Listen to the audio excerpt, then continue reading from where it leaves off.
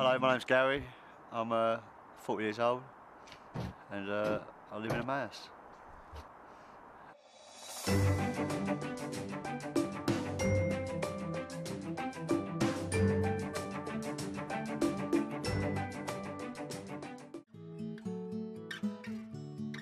It's Monday morning, and like every other chef, Gary is preparing for the day by taking a delivery of what he needs for the week.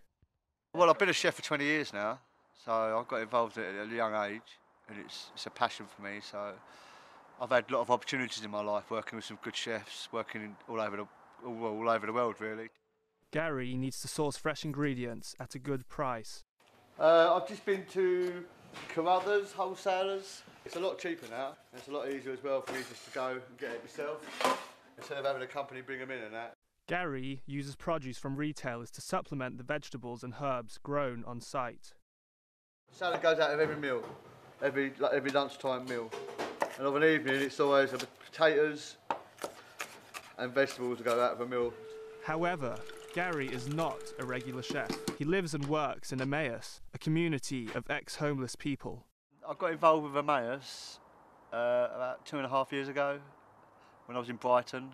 I was working as a chef there, and the work sort of got a bit slower, so I got involved in doing stuff for the homeless.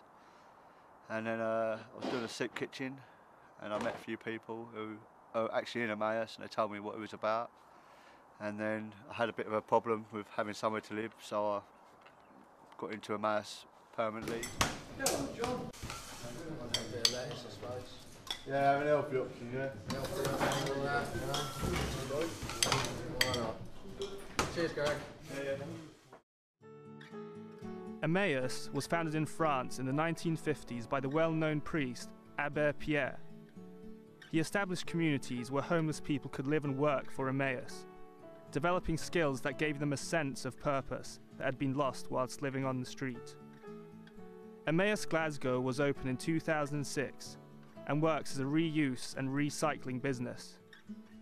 The Emmaus philosophy continues in the Glasgow community with the aim to grow and help as many as possible.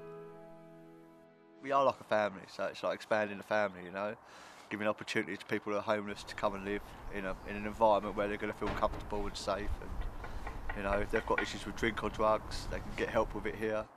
You know, that'll always be there for them as well, you know, they'll always have that. If they feel they're struggling a bit and have a little relapse, it's not going to be a question of, well, you've done really bad, get out. It's going to be of, look, how can we resolve it, how can we help you? But drinks and drugs are not the only things jeopardising the community.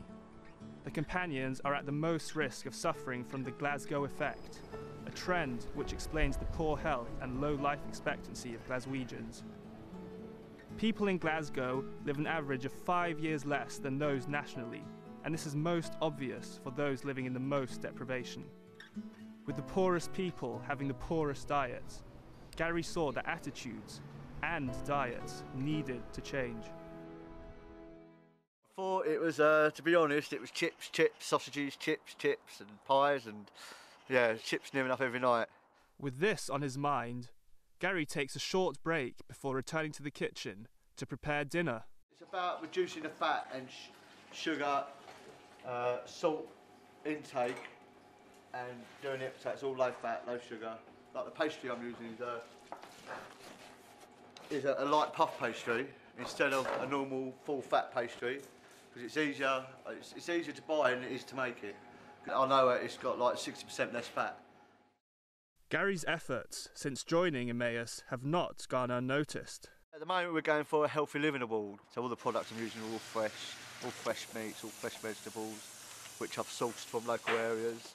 And then due to that, we, we went to a, an assembly in Leicester a few months ago and met Terry Waite, and he's like one of the trustees of like Emmaus. And he noticed that there's an obesity problem in, in Emmaus itself, so he's asked me to get this thing up and running, see how it goes, and he was going to come up here, assess it, and see if we can roll it forward for the other Emmauses to get them all eating healthy. And the healthy eating programme in the Glasgow community is already reaping its rewards. They seem to be happier because like a lot of them are actually losing weight. There's a lot more energy about them. There's not more. There's a lot more positivity coming from them as well because they know that like they're actually losing the weight and they feel good about it. The caring nature of Emmaus ensures that nothing goes to waste and as many people are helped as possible. And usually, if there's any leftover weight, like I I have a intention of keeping it. And then when we have a soup run, I'll, s- I'll heat it back up and send it out to the soup run so that they get like something hot.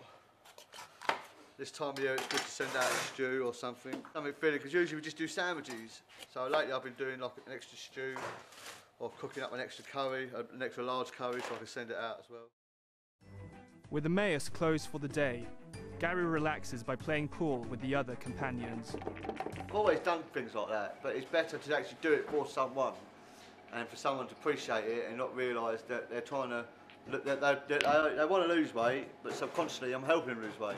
I've had a good upbringing and I've had a lot of things, opportunities there to do things, like by some good people. It's good to give back a bit, you know. Plus, with being in Emmaus now, I have an opportunity to open up a small business in the, in the new year. So we're going to try and look for a coffee shop stroke sandwich bar in Glasgow. Things don't often change in a day, but people can make changes for tomorrow. People like Gary make the difference, and people like Gary make Glasgow.